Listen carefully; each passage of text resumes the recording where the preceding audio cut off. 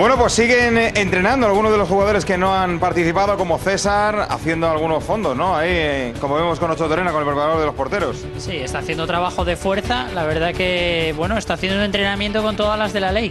Tren Sí, inferior, tren ¿eh? superior. Yo me estoy haciendo el loco, por si me llama de ¿Sabe aquí quién los para hace el hacer loco? Un hombre que regresaba hoy después de su lesión de solio, está con Guas, está Xavi Hernández. Dale, Guas.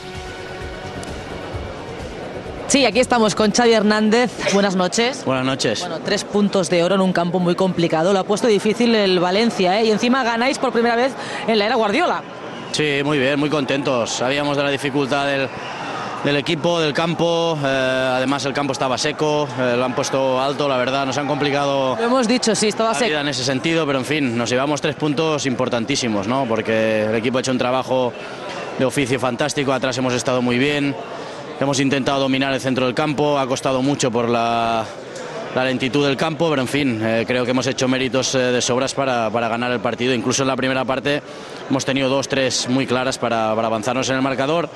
Ha llegado faltando 10-15 minutos y bueno, nos llevamos una, una victoria pues vital, vital para el campeonato.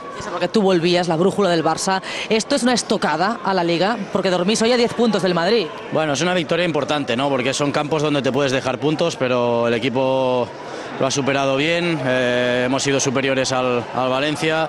Nos hemos sentido bien a pesar del, del campo y, contentos. Nos vamos muy, muy felices por estos tres puntos.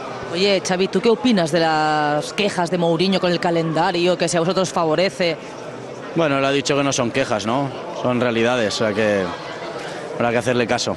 ¿Qué crees? ¿Que te da igual o...?